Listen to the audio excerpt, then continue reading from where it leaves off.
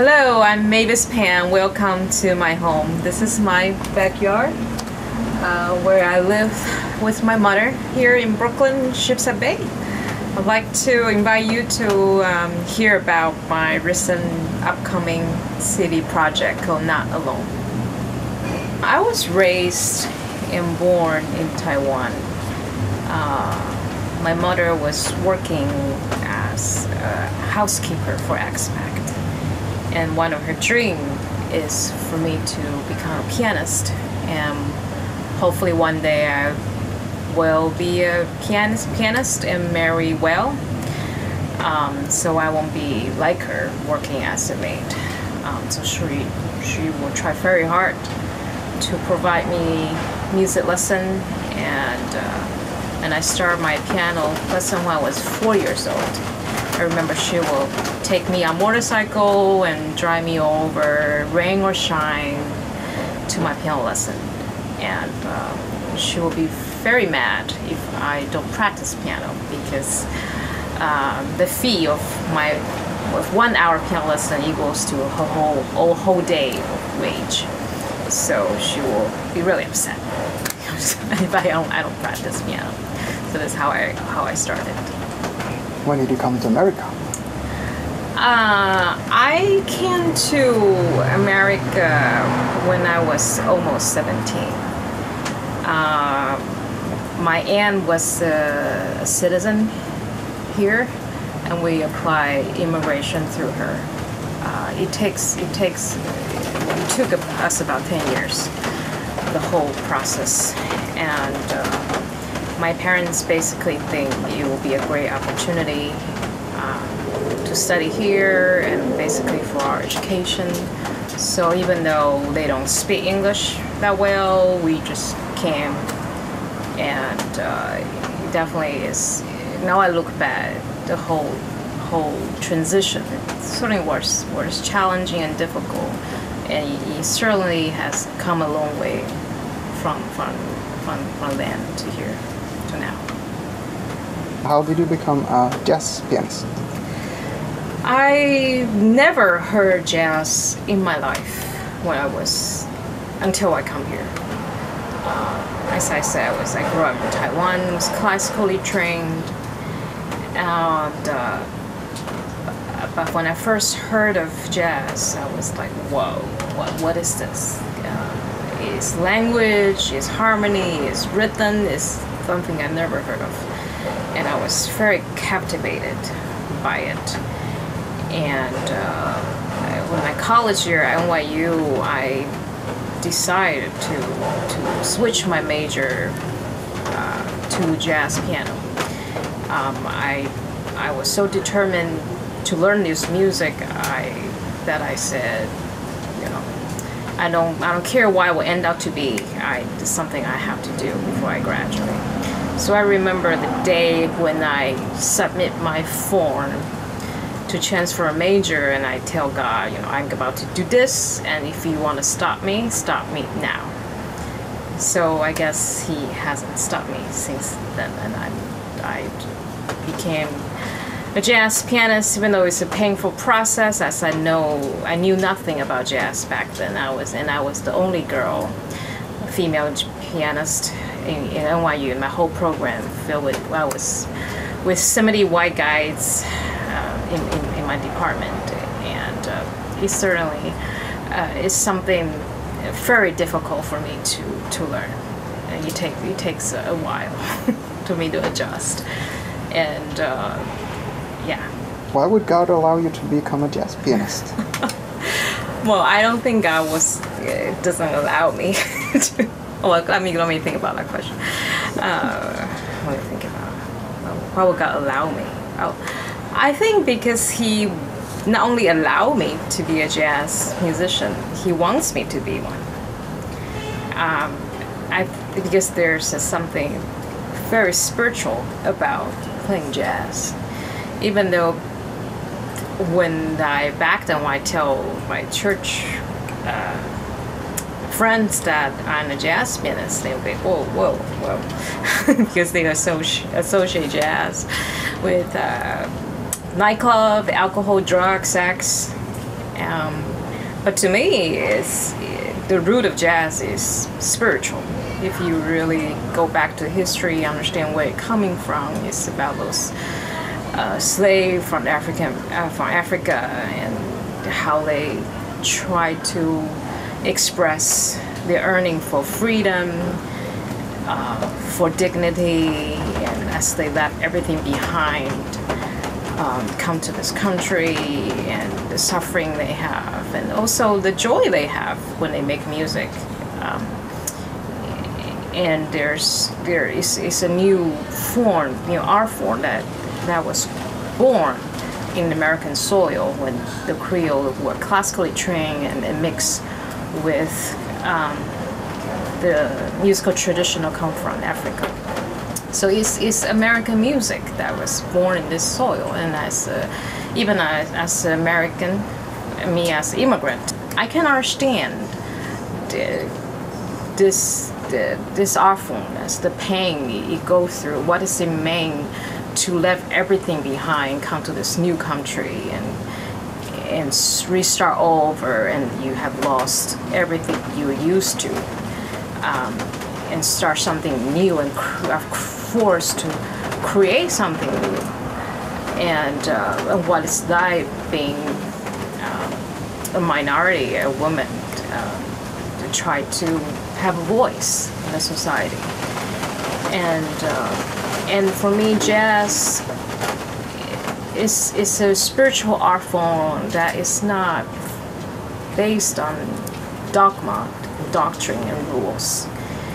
Is is filled with possibility and infinite imaginations, and for me, that is somehow reflects my faith.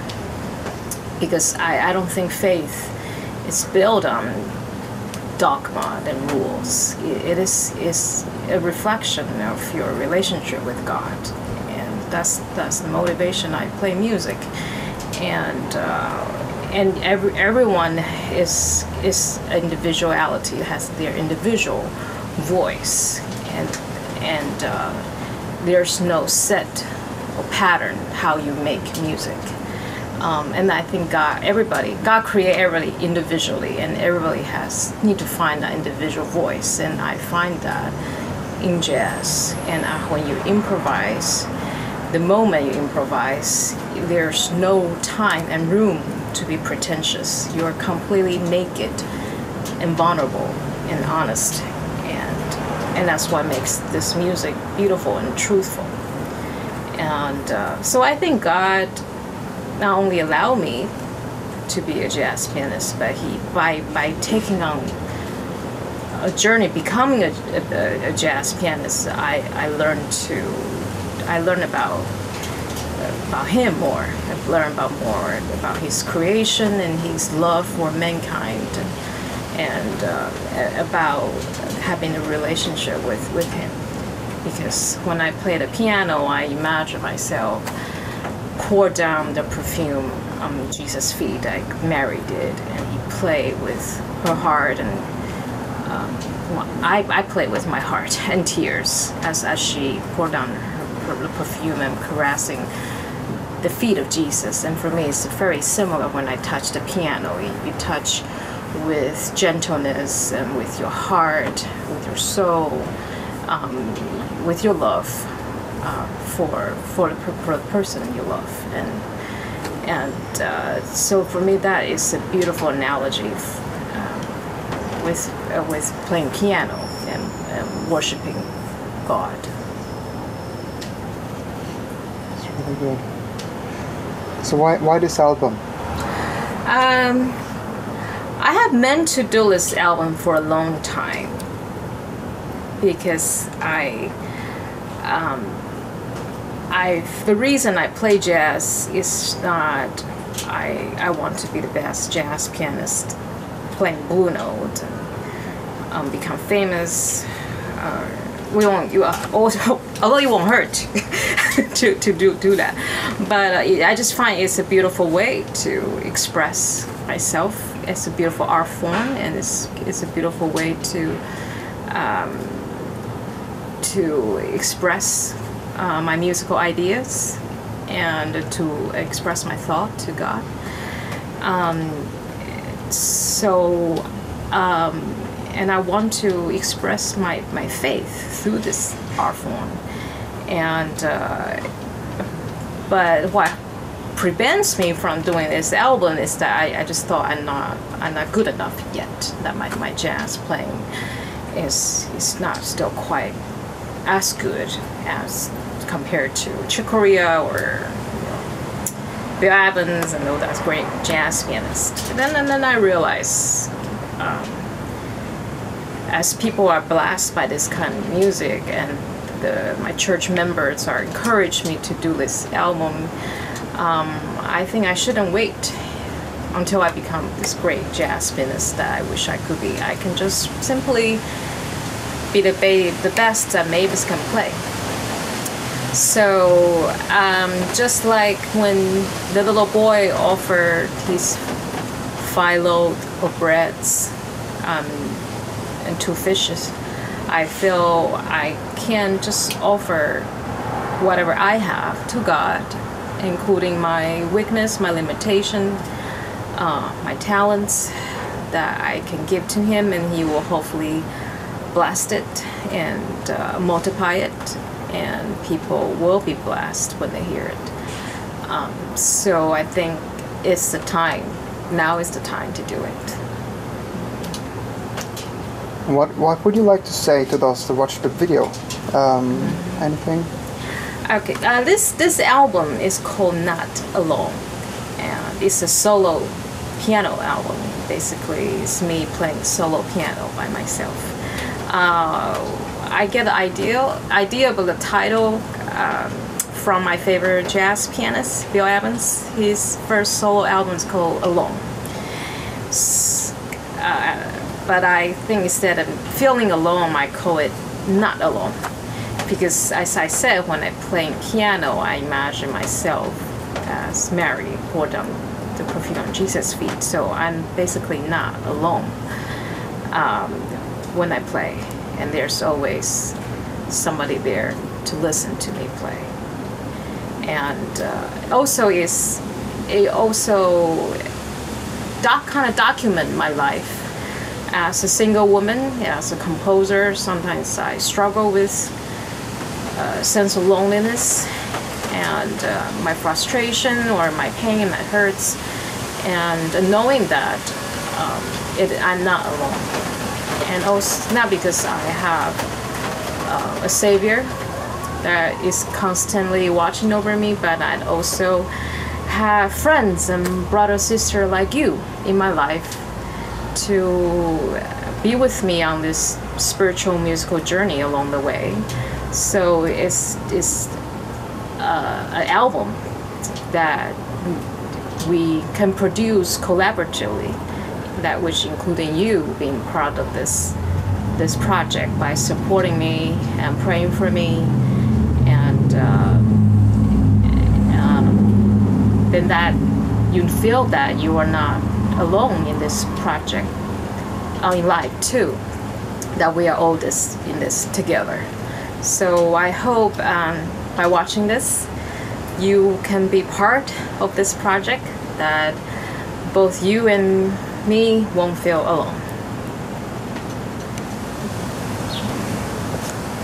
During my traveling teenage years, classical music didn't seem to ease my pain. The pressure of competitions and performing in front of panels of judges take away the joy of making music.